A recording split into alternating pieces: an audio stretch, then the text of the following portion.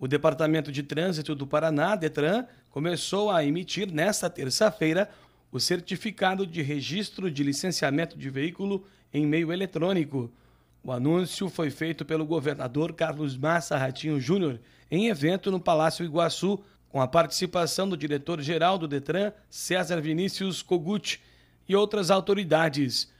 O superintendente da Polícia Rodoviária Federal do Paraná explicou como isso vai funcionar na prática nas ações policiais. Cada policial rodoviário federal possui um terminal, um celular, através de, de qualquer aparelho de celular com leitor de QR Code, a gente pode buscar na base de dados né, a, a verificação da autenticidade do documento e daquele veículo. Inclusive, tem-se também a facilidade, o cidadão poderá também fazer a leitura. Isso traz uma facilitação, isso socializa a informação.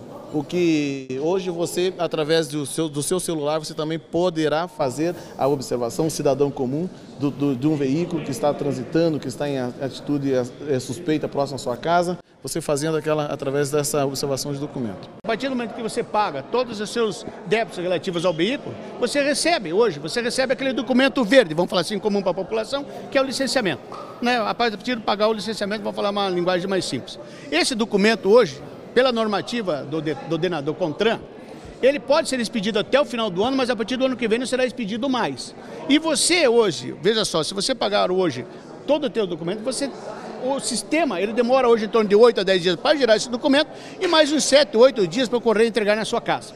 A partir de hoje não, pagou, o, o sistema vai girar um dia, dois, se você pagasse hoje todas as custas, na terça-feira, quinta-feira você já pode entrar no sistema, teu documento já está lá frisar que o CRLV não é um documento de porte obrigatório. Então você pode imprimi-lo ou não. O Detran ainda continuará mandando por um tempo, mas depois você entra no seu computador, no site Detran já está as formas de acesso, como é que você vai baixar esse aplicativo para ter o CRLV. Mas a obrigatoriedade hoje do porte é simples, é, é somente para viagens fora do país.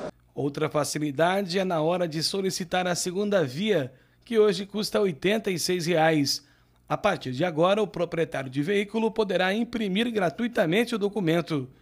O diretor-geral do Detran destaca também que o sistema está livre de fraudes. Não tem como ser fraudado, porque todo o acesso, e todos os Detrans do Brasil farão, a partir até o prazo máximo é junho, o Detran do Paraná já se antecipou, ele veio com um QR Code da base nacional. Não tem como você falsificar, porque quando o policial, quando o agente de trânsito, seja da Polícia Rodoviária Federal, da Polícia Militar das guardas municipais, for fiscalizar, ele vai ler esse QR Code e o QR Code dizer, o veículo é esse, o proprietário é esse. Não tem como fraudar esse sistema. Por isso que até o, o, a base nacional, o Denatran, o Contran, preocupados passaram no Estado e o Estado validou. Então o nosso Acelepar validou o sistema, realmente ele não possibilita fraudes.